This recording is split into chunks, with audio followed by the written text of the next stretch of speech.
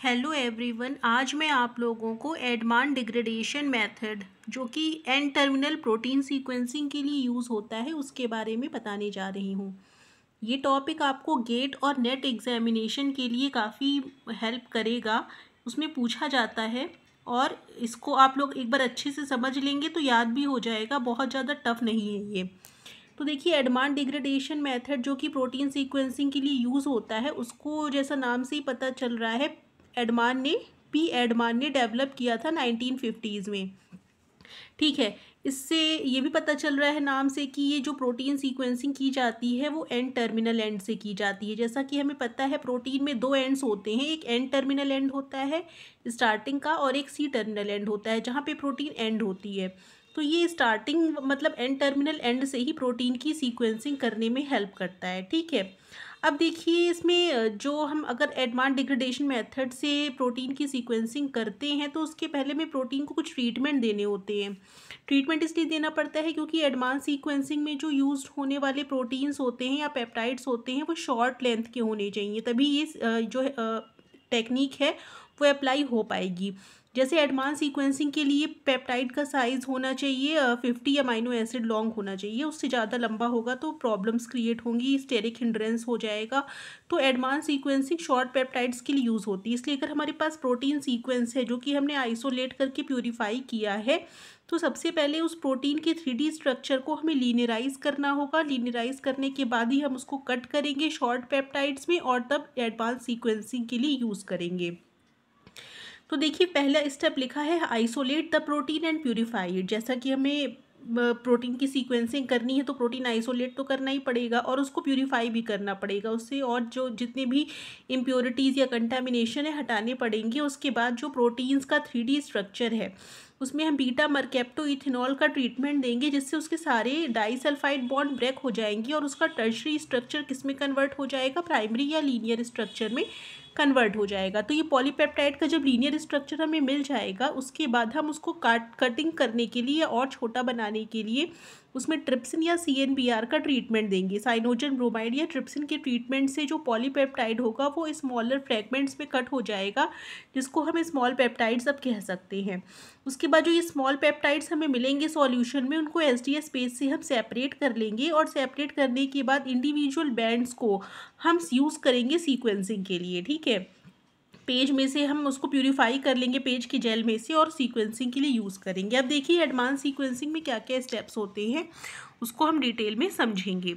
सबसे पहले advance sequencing जो होगी वो तीन स्टेप्स में कंप्लीट होगी, जिसके नाम आपको याद करने हैं। ट्रिपल सी करके भी आप इसको याद कर सकते हैं। सबसे पहला है कपलिंग दूसरा है क्लीवेज और देन है कन्वर्जन तो कपलिंग क्लीवेज और कन्वर्जन तीन स्टेप में ये पूरा होता है एडवांस सीक्वेंसिंग कपलिंग में क्या होता है? कोई एक रिएजेंट होता है जिसके साथ हम उसका ट्रीटमेंट कराते हैं या कपलिंग कराते हैं। जब ट्रीटमेंट हो जाता है तो जो भी प्रोडक्ट बनता है उसको क्लीवेज करते हैं और क्लीवेज करने के बाद उसको स्टेबल बनाने के लिए उसको स्टेबल जो भी स्टेबल कन्वर्जन करते हैं, एक ऐसे मॉलिक्यूल में जो काफ़ी टाइम तक स्टेबल रहे। तो देखिए, सबसे पहला है हमारा कपलिंग कपलिंग रिए कपलिंग फ़ेज़ में हम क्या करते हैं? फिनाइल आइसोथायोसाइनेट या पीआईटीसी रिएजेंट का यूज़ करते हैं, जिसको हम एडमान रिएजेंट भी कहते हैं।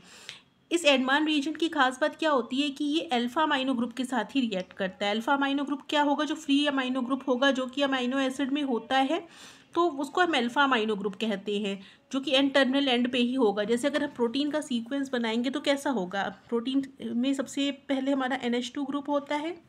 उसके बाद एक कार्बन होता है, कार्बन के साथ आर ग्रुप लगा होता है, एक एच लगा होता है, उसके बाद कार्बोनिल कार्बन होता है और फिर यहाँ दूसरा अमीनो एसिड स्टार्ट होता है एन से, ठीक है? इसके बाद फिर से कार्बन होगा। तो हमारा जो पहला अमाइनो एसिड यहाँ तक है, ठीक है? इसको हमें कन्वर्ट करना है तो ये वाला जो नाइट्रोजन है हमारा, ये अल्फ़ा अमाइनो ग्रुप कहलाएगा, क्योंकि ये अल्फ़ा कार्बन से जुड़ा है। ये अल्फ़ा कार्बन है तो ये अल्फ़ा नाइट्रोजन हो गया हमारा तो अल्फ़ा अमाइनो ग्रुप के साथ ही रिएक्ट करता है कौन? पीआईटीसी ठीक है? तो पीआईटीसी ने अल्फ़ा अमीनो ग्रुप के साथ रिएक्ट किया और क्या बनाया? फिनाइल थायोकार्बेमॉल डेरिवेटिव बनाया पीटीसी डेरिवेटिव बनाया, under mild alkaline condition pH 8.6 रखते हैं हम। तो ये हमारा फिनाइल थायोकार्बेमॉल डेरिवेटिव बन जाता है जब हम पीआईटीसी की जो हमारा पेप्टाइड के साथ रिएक्शन कराते हैं, ठीक है? पेप्टाइड के साथ रिएक्शन कराएँगे तो PITC N alpha amino group के साथ ही रिएक्शन करेगा। ठीक है तो हमने क्या किया? पीआईटीसी ऐड किया और पीआईटीसी ने अल्फ़ा अमीनो ग्रुप के साथ रिएक्शन करके क्या बना लिया? पीटीसी डेरिवेटिव बना लिया फिनाइल थायो कार्बोमोल डेरिवेटिव बना लिया। अब क्या करेंगे हम? क्लीवेज करेंगे। स्ट्रॉन्ग एसिड की प्रेजेंस में, जो कि हमारा ट्राईफ्लोरोस्टिक एसिड का यूज़ करते हैं टीएफए इसको शॉर्ट फॉर्म में कहते हैं। स्ट्रॉन्ग एसिड को हम स्ट्रॉन्ग एंड हाइड्रस कंडीशन में यूज़ करेंगे क्लीवेज करने के लिए। जो कि हमारा फ़र्स्ट पेप्टाइड बॉन्ड पे क्लीवेज करेगा, ठीक है? अब देखिए, इसमें हमने क्या लिखा है कि जैसे कि हमारा यहाँ पे क्लीवेज होना है, सबसे पहले तो हमने क्या यहाँ पे ऐड करवाया था पीआईटीसी तो इसने उसके साथ कुछ रिएक्शन करके प्रोडक्ट बनाया होगा। क्या बनाया? फिनाइल थायोकार्बेमोल बनाया। अब इसको यहाँ से कट करना है ना फ़र्स्ट ये हमारा पेप्टाइड बॉन्ड यहाँ से कट करना है तो इसके लिए हम क्या यूज़ करते हैं? कट करने के लिए ट्राईफ्लोरोएस्टिक एसिड यूज़ करते हैं, लेकिन बिल्कुल एनहाइड्रस कंडीशन में होना चाहिए। वाटर बिल्कुल भी नहीं होना चाहिए, क्योंकि अगर वाटर होगा और एसिड होगा तो वाटर क्या करेगा? दूसरे बॉन्ड्स की भी हाइड्रोलिसिस करने लग जाएगा, जो कि इसके बाद के पेप्टाइड बॉन्ड्स होंगे। लेकिन हमको केवल यही वाले बॉन्ड का करना है तो एनहाइड्रस एसिड का यूज़ करना पड़ेगा, ठीक है? तो एनहाइड्रस एसिड का यूज़ करने के बाद पहला पेप्टाइड बॉन्ड टूटेगा और क्या हो जाएगा? A Z A Z T derivative मतलब एनी लिनो थायो एजोलिनोन डेरीवेटिव के फॉर्म में जो हमारा पहला ये अमाइनो एसिड है, वो अलग हो जाएगा, ठीक है? जो भी एक इंटरमीडिएट बनेगा साइक्लिक इंटरमीडिएट उसके फॉर्म में वो अलग हो जाएगा। तो क्लीवेज में क्या हुआ? इस बॉन्ड को या फ़र्स्ट पेप्टाइड बॉन्ड को क्लीव करने के लिए हमने एसिड का यूज़ किया। कौन सा एसिड यूज़ किया? ट्राईफ्लोरोएस्टिक एसिड यूज़ किया एनहाइड्रस कंडीशन में। तो एक डेरीवेटिव बना ए जेड टी डेरीवेटिव जो कि इसको लेकर के अलग हो जाएगा। तो क्लीवेज हो जाएगा। क्लीवेज होने के बाद जो हमारा ए जेड टी डेरीवेटिव बना था, वो बहुत ज़्यादा स्टेबल नहीं होता है। उसको हम क्या करते हैं? स्टेबल बनाते हैं। तो देखिए after separation of A Z T derivative the remaining peptide is use for another round of reaction with P I T से अब ए जेड टी डेरीवेटिव बन गया और अलग हो जाएगा वो तो क्या करेंगे? जो हमारा बचा हुआ पेप्टाइड है, उसको दोबारा से यूज़ करेंगे पी आई टी सी से लेबल करके या उससे रिएक्शन करा के। दूसरे अमाइनो एसिड को भी निकालेंगे। पहला तो निकल गया ए जेड टी के फॉर्म में। तो जब ए जेड टी के फॉर्म में जो निकला है वो स्टेबल नहीं है तो उसको हम क्या करेंगे? कन्वर्जन करेंगे। कन्वर्जन करेंगे ए जेड टी का किसमें एक स्टेबल फॉर्म में कन्वर्जन करेंगे, जिसको हम लोग कहते हैं फिनाइल थायोहाइडेंटियन उसके लिए हम एक्सट्रैक्शन कर लेंगे यूज़ करेंगे ऑर्गेनिक सॉल्वेंट इथाइल एसिटेट का यूज़ करते हैं। ठीक है तो ए जेड टी रेजिड्यू जो होता है उसको हम सेपरेट करते हैं इथाइल एसिटेट के प्रेजेंस में एक्सट्रैक्ट करते हैं और उसको स्टेबल फॉर्म में कन्वर्ट करते हैं फिनाइल थायोहाइडेंटियन में और इसी का यूज़ करते हैं हम किसमें किसमें? एच पी एल सी करने में, जिससे हम इस P H P T H derivative जिसमें कि अमाइनो एसिड भी लगा हुआ है, उसको आइडेंटिफाई कर सकें। तो ये reverse phase H P L C के मेथड से इसको हम सेपरेट और आइडेंटिफाई कर सकते हैं, ठीक है? अब देखिए एडवांस सीक्वेंसिंग की एडवांटेजेस क्या क्या हैं? एडवांटेज क्या है कि ये अमीनो एसिड की इन्फॉर्मेशन को बताता है किसी भी प्रोटीन या पेप्टाइड में without use of any protein database ठीक? प्रोटीन डेटाबेस की इसमें कोई ज़रूरत नहीं पड़ती है अपना मैनुअली हम इसमें एक एक अमाइनो एसिड की इन्फॉर्मेशन निकाल सकते हैं। ये एक्यूरेट भी होता है, लेकिन analyse amino acid sequence one by one without disturbing other peptide bond. मतलब कि क्या करता है? एक एक अमीनो एसिड या एक एक पेप्टाइड बॉन्ड को एन सीक्वेंस से ब्रेक करता चला जाता है। एक बार में एक को ही करता है, दूसरे पेप्टाइड बॉन्ड्स को ब्रेक नहीं करता या डिस्टर्ब नहीं करता। क्यों? क्योंकि हम एनहाइड्रस कंडीशन यूज़ करते हैं, वाटर का यूज़ नहीं करते हैं। तो ये सब एडवांटेजेस हैं। अब डिसएडवांटेजेस कुछ भी हैं, इसके देखिए क्या है। सबसे पहला डिसएडवांटेज तो ये है कि टाइम कंज्यूमिंग प्रोसेस है, जिसमें कॉस्ट भी बहुत हाई होती है।